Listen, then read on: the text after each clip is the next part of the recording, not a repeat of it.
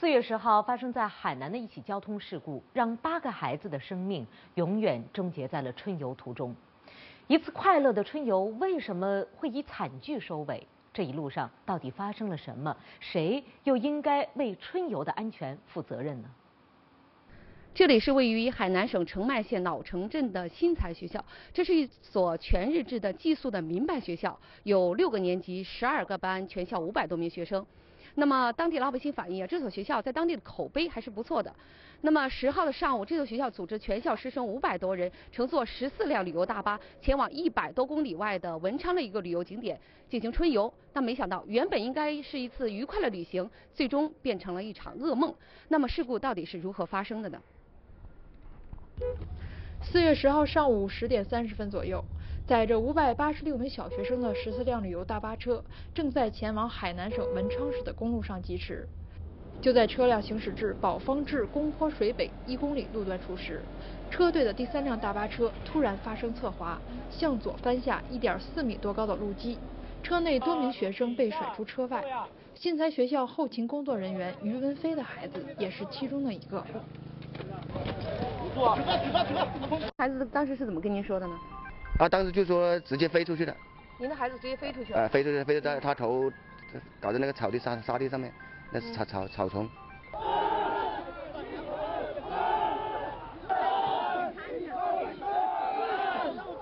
出事时，车上共有四十七人，除了三名教师、一个司机，其余都是学生。车辆侧翻后，八名学生因被压在车下当场死亡，三十二名受伤人员被送往医院进行救治。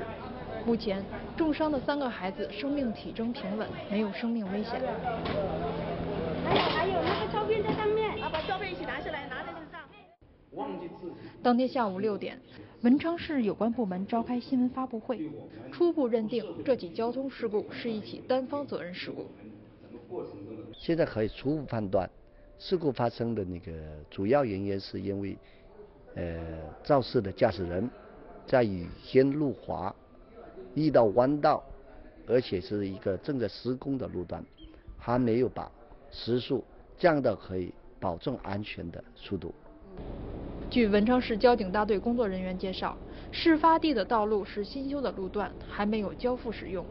按照设计，限速为时速四十公里以内，但从现场调查看，出事车辆有明显超速行为。初步判断，它的时速在。六十公里每小时到七十公里每小时之间，驾驶员在驾驶过程中有接听手机、呃打电话这种行为。据记者调查，车队出发前曾制定过行车计划，但司机在行车时没有选择路况好的快速路，而是把车开进了自己并不熟悉的村道。有随车老师反映，司机在开车途中一直不停地打电话问路，这到底是怎么回事呢？呃，据我们初步了解和判断，肇事的驾驶员为了躲避道路运输企业的监管，特地选了这一条连接着一个村道的一个道路。因为他们这个客运企业的这一批车队的车，只能是在海口市区以内运输，不能超过那个海口市区。因为路线的选择，随车老师与导游和司机发生过争吵，但司机并没有因此改变路线。最终因为路况不熟，走错路，结果回返途中发生事故。目前肇事司机已被警方控制。据我们了解，出事的这辆大巴上承载的孩子们都是新在学校一年级一班的学生。那么平时他们就在这个教室里学习。从教室的这面墙上，我们可以看到这个班一共有四十四名同学。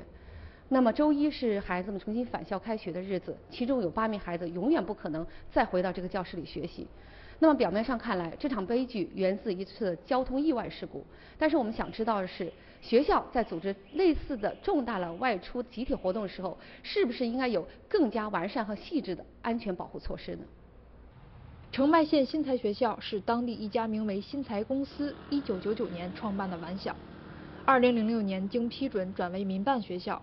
今年四月10号，在没有上报任何主管部门的情况下。该学校擅自租用海航大巴车，组织五百八十六名学生到文昌市景区春游。按照规定呢，组织这个学生春游等大型户外活动呢，一定要报逐级向当地的教育主管部门呢申报。申请里面的内容呢，一定要有啥呢？组织呃去三家的路线，到哪里去出游？第二，要有三家人员，就什么人三家？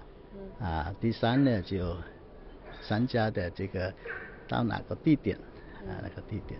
等到我们接到这个申报之后呢，要审批，而且最关键的一个情节呢，要做好这个安全防范措施，要有安全预案。根据学生家长的回忆，这样的春游活动今年已不是第一次，学校基本每年都有组织。像新泰学校的话，它不是第一次组织这样的外出的集体活动了，嗯，几乎每年都在举行这种春游活动，也每年也都没有报批过。没有没有没有报批，哎，对对，关键是没有举报，没有结构这方面的举报，哎，就是。我们平时没有一个一个督查的措施。或者是平时也有检查，但是各方面的检查可能这方面也存在着这个监管不力的情况。六百多人集体出行，学校不报批，监管部门也未能及时察觉。而如果学校报批的话，是否就意味着这起事故可以有效避免呢？人数太多了。而且如果没有安全措施的情况下，那我们是不会批准的。呃，但是就说它关键就是交通事故方面呢这个方面就很难说。哎，主要这事故主要的交通问题。根据这位教科局负责人的说法，学校出行选择的是有资质的正规车队，即使报批通过审核，也不一定就能保证不出交通事故。那么，司机驾驶不规范，甚至擅自改变行车路线，是否应该纳入主管部门的监控范围呢？无论校方还是教育主管部门，是否应该对出行安全给予更多的关注呢？记者了解发现，新材学校在组织这次春游前，并未就行车路线、车辆安全等制定相关方案。这次活动组织的过程当中，学校跟老师们有没有一些通报，就安全这方面措施？嗯，就是去的路上啊，一定要听老师的指挥啊，嗯，就是嗯那些防暑措施嘛，还有就是那些安全啊，比如说，嗯下车啊听老师指挥啊，就不要做一些危险动作。从这两位老师的口中不难得知，学校所说的安全措施并没有涉及交通安全。嗯，你们的车上都有安全带吗？座位是没有，没有安全带。嗯，没有。这个当时你们上车时候，嗯，有有提出过这个问题吗？没有，没有。这个车现在我们的汉没有配置这个安全带，孩子被甩甩到车外，呃，跟这个乘坐的时候没有带安全带还是有一定的关系的。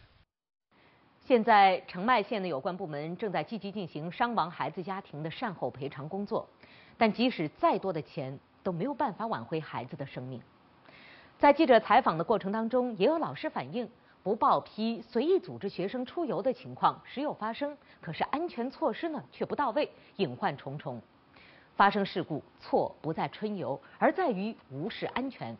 各方都做好准备，负起责任，春游才能够和安全同行。